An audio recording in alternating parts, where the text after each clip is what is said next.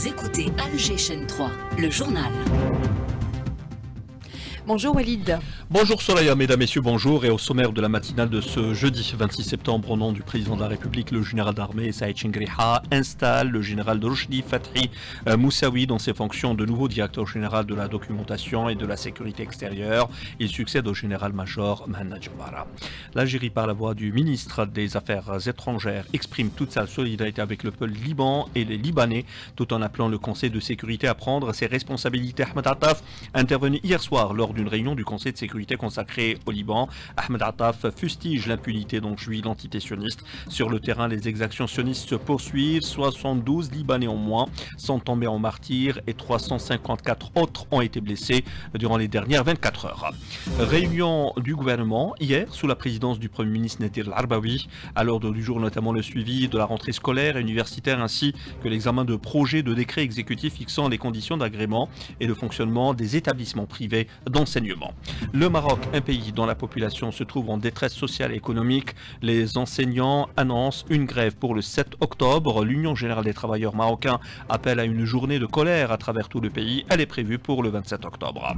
Et puis en sport, la sélection nationale de handball des moins de 19 ans euh, composte son billet pour le mondial 2025 prévu en Égypte. Mesdames, Messieurs, bonjour. Une édition que nous entamons avec cette nouvelle nomination au nom du président de la République, chef suprême des forces armées, ministre de la Défense nationale, le chef d'état-major de l'armée nationale populaire, le général d'armée Saïd a présidé hier la cérémonie d'installation officielle du général Rushdi Fethi Moussaoui dans ses fonctions de nouveau directeur général de la documentation et de la sécurité extérieure en remplacement du général-major Mahanna Jabbar. L'occasion pour le général d'armée de donner un ensemble d'instructions au cadre et d'orientation afin de continuer à consentir davantage d'efforts au service de l'Algérie et pour préserver ses intérêts suprêmes. Aussi, je vous ordonne de travailler sous son autorité et d'exécuter ses ordres et instructions dans l'intérêt du service, conformément aux règlements militaires et aux lois républicaines en vigueur, et par fidélité au sacrifice de nos vaillants shuhada et aux valeurs de notre glorieuse révolution. Le général d'armée Sachengriha qui a salué également les qualités euh, du général-major Mahna et les rôles importants qu'il a tenus au sein de l'institution militaire. L'actualité euh, internationale Toujours marqué par la situation au Liban, durant les dernières 24 heures, 72 Libanais au moins sont tombés en martyrs et 354 autres ont été blessés dans des raids sionistes, des raids qui, qui ciblent en ce moment même plusieurs localités au sud Liban. L'agression dont fait l'objet le Liban était au cœur d'une réunion du Conseil de sécurité hier soir. Le ministre des Affaires étrangères a tenu à exprimer toute la solidarité avec le Liban et les Libanais tout en appelant le Conseil de sécurité à prendre ses responsabilités. Le chef de la diplomatie a fustigé l'impunité dont jouit l'entité sioniste qui lui a permis d'agresser tour à tour l'ensemble de ses voisins. Il a également mis en évidence la politique belliqueuse de l'entité sioniste qui n'a de cesse de créer euh, euh, le chaos dans toute la région. Je vous propose d'écouter Ahmed Attaf. Cette agression fait partie intégrante de la politique d'escalade adoptée comme approche par l'occupation israélienne colonisatrice qu'il utilise comme stratégie délibérée sur plus d'un front, dans plus d'un lieu, dans la région du Moyen-Orient dans son ensemble. Cette occupation ne se contente plus de la guerre de génocide commise à l'encontre du peuple palestinien à Gaza et dans la Cisjordanie. Cette occupation provoque crise après crise et tente jour après jour d'asseoir sa criminalité et son pouvoir sur tous les États du voisinage, au Yémen, en Syrie, en Iran et actuellement au Liban. Et le chef de la diplomatie a également rappelé qu'il n'y avait pas d'alternative à l'émergence d'un État palestinien libre et souverain, seule solution pour une paix juste et durable au Proche-Orient. Nous restons convaincus que le retour de la sécurité et de la stabilité au Moyen-Orient dépend de la capacité de ce Conseil à surmonter les contraintes qui compromettent son action à imposer le respect plein et entier de l'unité, de la souveraineté et du caractère sacré du Liban, mettre en œuvre les décisions qu'il a adoptées pour un cessez-le-feu à Gaza et mettre fin à l'escalade systématique israélienne dans la région, mettre fin à l'occupation des terres palestiniennes et arabes et imposer la création d'un État palestinien indépendant et souverain, solution juste, permanente et définitive au conflit israélo-arabe. Et plutôt dans la journée, l'Algérie a appelé toujours par le biais de son ministre euh, des Affaires étrangères à redonner au Conseil de sécurité à l'ONU le rôle soulignant la nécessité de réparer l'injustice faite à l'Afrique, seul continent à ne pas avoir de siège permanent et le moins représenté dans la catégorie des sièges non permanents. Le chef de la diplomatie a intervenu lors d'un débat public de haut niveau tenu par le Conseil de sécurité sur le leadership pour la paix. Le ministre a également insisté sur l'urgence d'abandonner la logique de polarisation. Et puis, Ahmed Dartaf a présidé également hier la réunion des A3+, le groupe des trois pays africains, Algérie, Sierra Leone et Mozambique, siégeant au Conseil de sécurité en plus de la Guyane et de la Somalie, qui remplacera le Mozambique à cette instance en janvier prochain. La situation au Liban, abordée également hier soir, au cas cette fois-ci par le président de l'Assemblée populaire nationale, président de l'Union parlementaire arabe, Brahim Bourali, qui a été très clair appelant au renforcement de la position arabe face aux agressions sionistes dans la région, notamment la dernière au Liban. Chaque instant qui passe sans que l'on prenne des mesures efficaces dans l'intérêt de nos causes communes est considéré comme une occasion ratée, en particulier devant la volonté de l'entité sioniste d'embraser notre région, élargir sa guerre et ses agressions contre le Liban et la Syrie. Profitant donc de cette réunion pour renforcer la solidarité interarabe et le travail commun pour être un véritable soutien non seulement aux Palestiniens mais aussi à tous les peuples arabes pour un avenir meilleur pour l'ensemble de la région.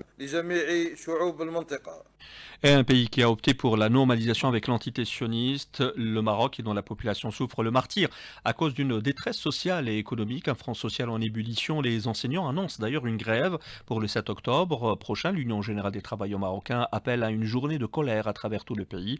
Elle est prévue pour le 27 octobre. Le marasme est tel que les Marocains, fuyant la misère et l'indifférence des gouvernants, tentent de quitter en masse le pays. Je vous propose d'écouter ces témoignages poignants. علاش لا خدمة لا والو؟ هاز الدواء ومريض ومسخسخ ومدقدق علاش باش نخرج؟ وأنا راه كنقص حدا امي ملي كنشوفها ما عندها ما تاكل وما كاين لا خدمة وكندخل ومقلقة وكاعية عليا وما كاينة لا خدمة لا والو راه والله ما نمشي. ما نمشي وما لقاش الخدمة ونعيط لها نقول لها راني لاباس. وصحتنا مارسين في كشافنا وما لقينا باش نداوى أخويا معذبين وهما الغلاء بزاف وما خدامين مردامين. شي خدمة ب 70 درهم والو. ما لقيناهاش. راه قهرونا أخويا راه عيينا والله يشعينا قسما بالله. المدرسة ما كايناش عريبونا وخلوا لنا النص ديال الحوايج. ماشي الحوايج كاملين النص ديال الحوايج هما في الزنقه جاو قالوا لنا خرجوا من الدار. لا ما بغيتش تخرج غنريب عليك. وفعلا هما ريبوا على الحوايج. ما كيعقلوش على المواطنين. نهائيا مضيعينهم مشردين ولادهم شتتوهم ما خلاهم ما داروا هاد الناس. والله ياخذ حق. Retour chez nous, réunion du gouvernement hier sous la présidence du Premier ministre Nadir Arbaoui, à l'ordre du jour notamment le suivi de la rentrée scolaire et universitaire ainsi que l'examen de projets de décret exécutif fixant les conditions d'agrément et de fonctionnement des établissements privés d'enseignement. Et puisqu'on parle de rentrée universitaire, nous nous intéressons ce matin à la rentrée dans la wilaya de Médéa qui a connu de nombreuses nouveautés cette année. Les détails avec notre correspondante permanente sur place, Rima Rahmani. L'université Yahya de Médéa s'est renforcée au titre de l'année universitaire 2024-2025 de nouveaux instituts appelés à accueillir les étudiants inscrits dans les filières médicales, agronomiques et vétérinaires. Smaïn Quadric, vice-recteur chargé de la pédagogie à l'université de Médéa. Cette année, nous allons recevoir 22 000 étudiants, dont 475 étudiants en médecine. Donc, ce qui est nouveau cette année, on a ouvert la formation en vétérinaire pour la première fois. Et le nombre d'étudiants affectés s'élève à 60 étudiants. On a aussi ouvert les formations à double diplomation. On a ouvert une formation en mathématiques avec gestion, une formation à double diplôme, et la formation de droit et finance avec la faculté de gestion. Et le nombre d'étudiants, c'est autour de 50 étudiants par formation. Pour cette rentrée universitaire, l'effectif global des étudiants est de 22 304, dont 6 054 nouveaux étudiants encadrés par 957 enseignants. Il faut dire que le secteur de l'enseignement supérieur à Médéa dispose de 7 résidences universitaires accueillant 9 252 étudiants, dont 6 834 filles. Médéa Rima Rahmani, Algéchon 3 et dans l'invité de la, du jour. Euh, rappelons que Nalimen Mendil reçoit ce matin à partir de 8h15 Orba Chabi, expert en intelligence artificielle. Une plainte a été déposée par l'État algérien auprès du tribunal judiciaire de Paris pour diffusion de fake news à l'encontre de la députée européenne Sarah Knapo du parti Reconquête, la députée européenne, et la compagne du multicondamné pour haine raciale Eric Zemmour, connu pour ses positions anti-immigration et surtout anti-algérienne. Les directeurs généraux de l'agence Algérie Presse Service et de l'établissement public de télédiffusion, de télédiffusion pardon, sont toujours en poste et ils donnent satisfaction dans l'exercice de la fonction. C'est ce qu'indiquait hier un communiqué de la Direction générale de la communication à la présidence de la République. Du sport également dans cette édition avec la sélection algérienne masculine de handball des moins de 19 ans qui a composté son billet pour le mondial 2025 en s'imposant devant la Libye sur le score de 26 à 25 en match de classement pour la 5e et 6e place du championnat d'Afrique des Nations de la catégorie députée, euh, disputée hier à Mehdi en Tunisie. À la faveur de cette victoire, l'Algérie rejoint les quatre demi-finalistes en tournoi également qualifiés au Mondial 2025 prévu en Égypte. Et pour terminer, ouvrons une bulle avec cette nouvelle bonne nouvelle pour les amoureux du 9e art, la bande dessinée, avec la 16e édition du Festival international de BD d'Alger euh, qui revient à partir du 1er octobre, Sidali Fares. La bande dessinée est un récit qui constitue une succession de cases dans lesquelles on retrouve des illustrations et du texte. Salim Brahimi, le commissaire de la 16e édition du Festival international de la bande dessinée, revient sur le choix du thème de cette édition, histoire algérienne. La bande dessinée compte un aspect graphique qui est dans la création de personnages, des euh, arrière-plans et des effets d'action, mais également un aspect qui nous est très important est celui de l'écriture scénaristique. Nous allons rendre hommage à un doyen de la bande dessinée algérienne, euh, Maz euh, Mohamed Mazari, c'est un des vétérans de la revue Mkedesh, mais également un docteur Aoyagi Etsuko qui est euh, professeur d'art à l'université de Tsukuba au Japon. Il a traduit plusieurs œuvres littéraires romans algériens, mais surtout des bandes dessinées algériennes au Japon. Nous avons aussi rendu hommage à un personnage de la bande dessinée algérienne, le premier super-héros de la bande dessinée algérienne qui a vu le jour en 1967. Il a été créé par Feu Mohamed Aram. D'ailleurs, euh, nous saluons et remercions euh, sa fille Emine Aram qui nous a permis de reprendre ce personnage, de le confier à la nouvelle génération et de le faire revivre afin que les jeunes puissent découvrir ce héros emblématique. La BD de l'époque s'appelait Nahar et les sirènes de Sidi Ferruche. La 16e édition du Festival international de la bande dessinée vous donne rendez-vous du 1er au 5 octobre à l'esplanade de l'office Riyad El Fath. Ainsi prend fin cette édition. Merci à vous de nous avoir prêté attention.